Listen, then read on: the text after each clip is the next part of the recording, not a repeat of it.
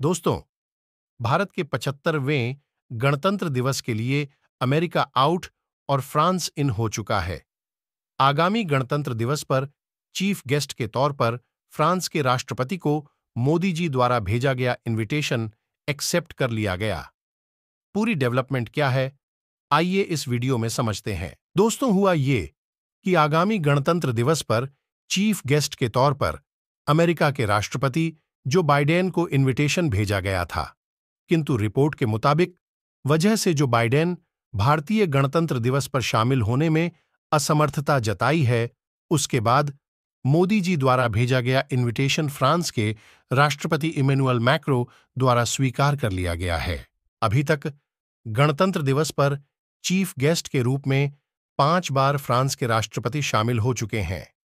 Emmanuel Macron ओवरोनल छठवें राष्ट्रपति होंगे। साथ ही आपके ये भी बता दें कि कोविड के चलते 2021 और 2022 को गणतंत्र दिवस पर बतौर चीफ गेस्ट किसी को आमंत्रित नहीं किया गया था, जबकि 2023 में मिस्र के राष्ट्रपति अब्दुल फतेह अल सीसी मुख्य अतिथि के रूप में शामिल हुए थे। दोस्तों, अब समझते हैं भारत के लिए फ्रांस की इंपॉर्टेंस क्या है। साथ ही कौन से समझौते इस बार हो सकते हैं।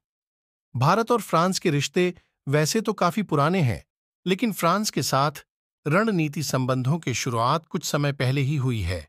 वैसे तो भारत और अमेरिका के रिश्ते काफ़ी अच्छे हैं। दोनों एक साथ कई योजनाओं पर काम भी कर रहे हैं। इस लोग है जो भारत, अमेरिका के रिश्तों को अच्छे नहीं रखना चाहते और आए दिन कोई न कोई विवाद खड़ा करने का प्रयास करते रहते हैं। लेकिन भारत और फ्रांस की जो आपसी समझ है वो अलग ही लेवल की दिखाई दे रही है। दोनों एक दूसरे को रणनीतिक और अन्य मुद्दों पर सपोर्ट करते आ रहे हैं। साथ ही फ्रांस ने भारत की 26 नेवल राफेल की बिड को सबमिट कर दिया है और यदि इस डील पर साइन हो जाते हैं तो ये तकरीबन पाँच हज़ार करोड़ रुपए के डील हो सकती है। साथ ही जब फ्रांस के राष्ट्रपति इमैनुअल मैक्रो जब इंडिया आएँगे तो और भी कई डील और समझौते हो सकते हैं। साथ ही फ्रांस और भारत के रिश्तों में और भी मिठास आएगी। तो दोस्तों, आपको क्या लगता है, क्या भारत को फ्रांस के साथ इसी तरह पूरे जोश के साथ नए समझौते करने चाहिए? अपनी राय कमेंट में ज़रूर बताएँ। वीडियो को एक लाइक ज़रूर करें। साथ ही इसी तरह और भी इंफॉर्मेटिव वीडियो पाने के लिए चैनल को सब्सक्राइब ज़रूर करें, क्योंकि आपके लिए केवल एक सेकंड का काम है। लेकिन इससे हमारी काफ़ी बड़ी मदद होती है। अंत तक वीडियो को देखने के लिए धन्यवाद।